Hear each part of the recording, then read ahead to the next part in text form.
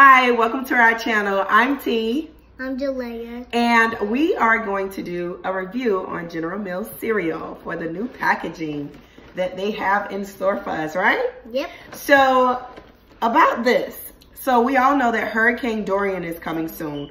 What better way for kids to feed themselves, be more self-sufficient, um, than having General Mills cereal? As you can see, there are several different types and it comes in an easy to use, easy to store box. We love it, right, Jalea? Yes. What do you love about this lovely new breakfast cereal pack? I love about it is it's nice and it's shelfy and it's all um right there and how how Like the bags? the bags The bags are small. bags They're easy to use.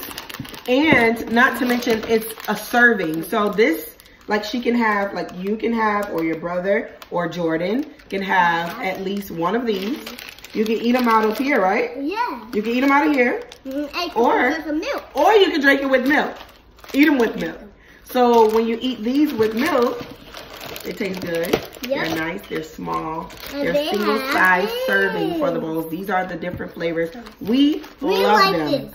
We love them. Love We're in love with them. We, we love them. Eight packs, different flavors, easy to buy, easy to store. And I believe, I think, I'm not 100% sure what the price was for them, but we got them from Publix.